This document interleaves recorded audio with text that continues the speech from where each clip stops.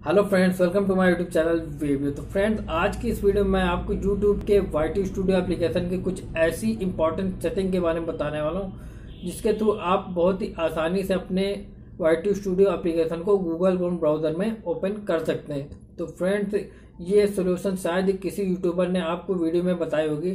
तो फ्रेंड्स बहुत से लोग ऐसे हैं जो वाई स्टूडियो एप्लीकेशन को गूगल क्रोम ब्राउज़र में ओपन करते हैं, लेकिन वो डायरेक्ट अपने एप्लीकेशन में रिडायरेक्ट हो जाता है।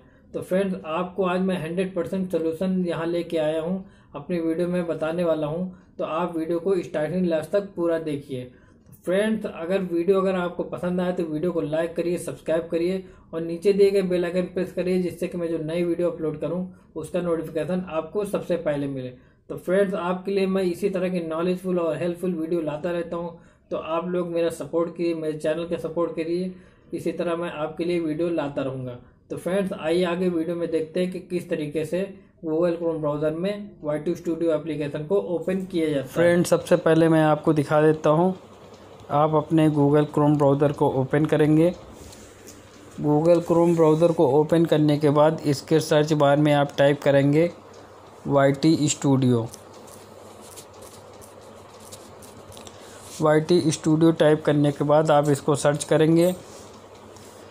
सर्च करने के बाद इसकी जो पहली वेबसाइट है, यही इसकी ऑफिशियल वेबसाइट है। इस पर आप क्लिक करेंगे।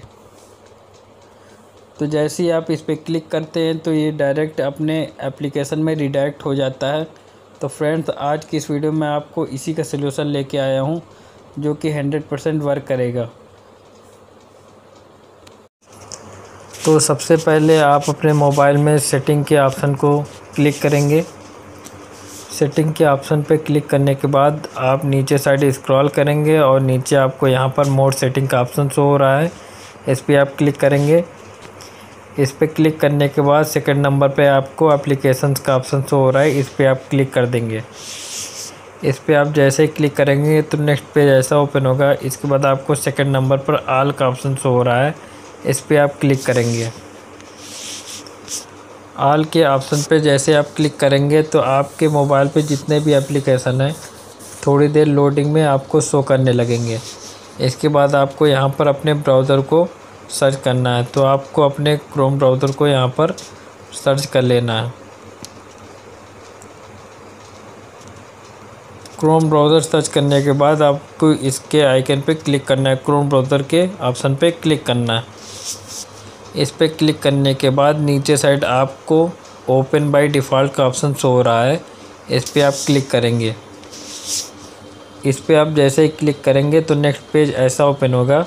इसके बाद नीचे साइड क्लियर डिफ़ॉल्ट का ऑप्शन शो हो रहा है। इस पर आप क्लिक कर देंगे। जैसे आप इस पर क्लिक करेंगे तो आपके क्रोम ब्राउज़र में सेट एज डिफ़ॉल्ट की सेटिंग सेट हो जाएगी। इसके बाद मैं आपको दिखा देता हूँ, दोबारा से सर्च करके। तो सबसे पहले आप क्रोम ब्राउज़र में जाएँगे और इसके सर्च बार में आप टाइप करेंगे Y T studio Y T studio search करने के बाद इसको सर्च करेंगे। सर्च करने के बाद इसकी जो पहली वेबसाइट है, इसकी ऑफिशियल वेबसाइट है, इस पर आप क्लिक करेंगे। तो जैसे ही आप यहाँ पर क्लिक करेंगे तो आपको यहाँ पर देखने को मिल जाएगा कि आप किस ब्राउज़र से ओपन करना चाहते हैं। तो आपको क्रोम ब्राउज़र पे ओपन करना है तो क्रोम ब्राउज़र के आइकन पे आप क्लिक कर देंगे। जैसे ही आप इस पर क्लिक कर देंगे तो आपका जो वाई टी स्टूडियो का एप्लीकेशन है, ये गूगल क्रोम ब्राउज़र में ओपन हो जाएगा। तो फ्रेंड, इस तरह से आप अपने गूगल क्रोम ब्राउज़र में वाई टू स्टूडियो एप्लीकेशन को ओपन कर सकते हैं। तो फ्रेंड्स, अगर आपको मेरी वीडियो पसंद आई हो तो वीडियो को लाइक करिए, सब्सक्राइब करिए और नीचे दिए गए बेल आइकन पर प्रेस करिए। धन्यवाद।